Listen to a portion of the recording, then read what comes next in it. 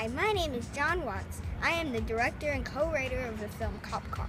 It'll be premiering at the Sundance Film Festival. Cop Car is the story of two young boys who run away from home and come across a seemingly abandoned cop car. They decide to take it for a joyride, unaware that the car has actually only been temporarily left behind by the local sheriff, played by the incomparable Kevin Bacon.